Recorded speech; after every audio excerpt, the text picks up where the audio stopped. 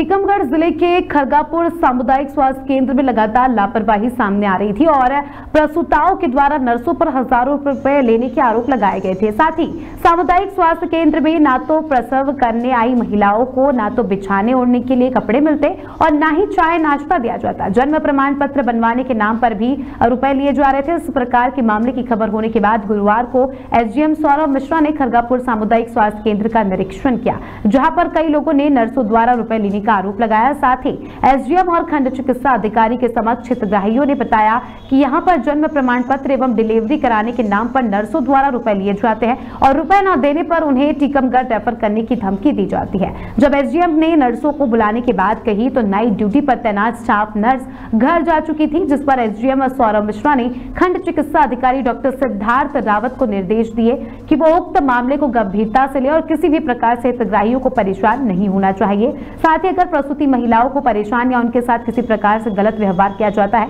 तो उन पर कार्रवाई भी की जानी चाहिए।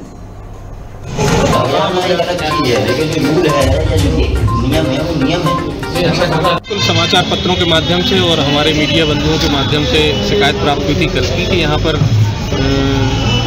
डिलीवरी में लोगों को दिक्कत हो रही है प्रसूताओं के जो परिवारजन आते हैं, उनको दिक्कत है या पैसे के लेन देन की भी कुछ शिकायतें आई? और जितनी भी शिकायतें मिली जो समाचार पत्रों के माध्यम से तीन चार प्रकरण जो